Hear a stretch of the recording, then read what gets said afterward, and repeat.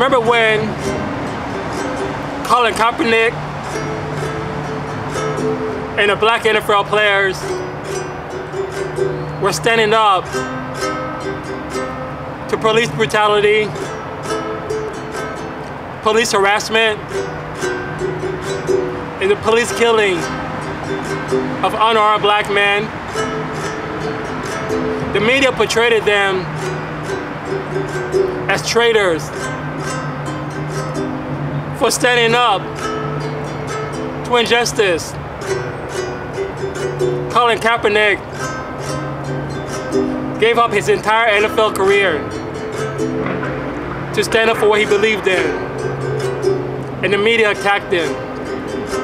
The mainstream called him all sorts of names. And guess what? Would you do the same? You sacrifice your entire life to reach the highest point in your career. And you sacrifice it all for a cause you believe in. For a cause that was right. But guess what? The media tried to vilify him. Because guess what? Black men aren't dying by the cops. Black men aren't shooting themselves. Black men, they're savages. They deserve to be killed by the cops. That is the mainstream narrative. That black men deserve to be killed, deserve to be profiled,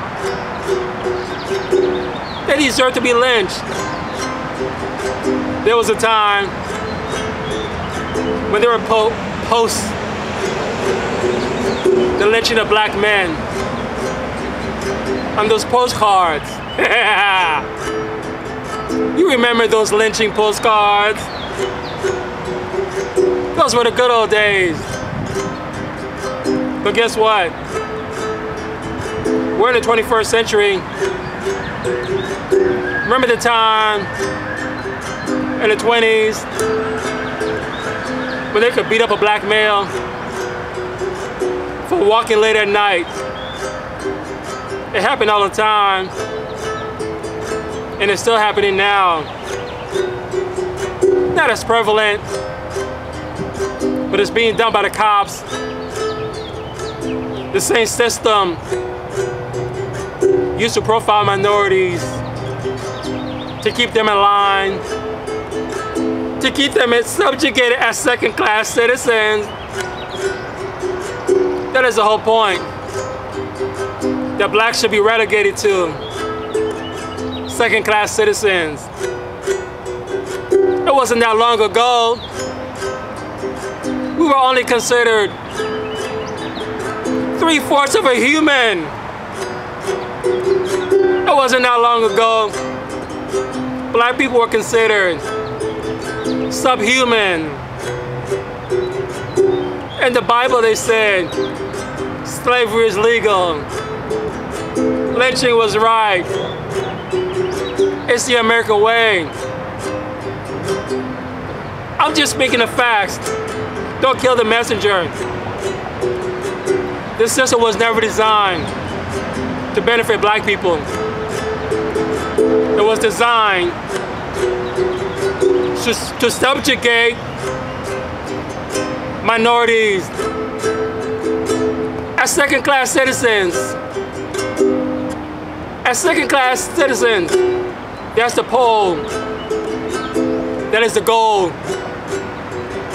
You don't need a poll. You don't need a survey. All you need to do is American history.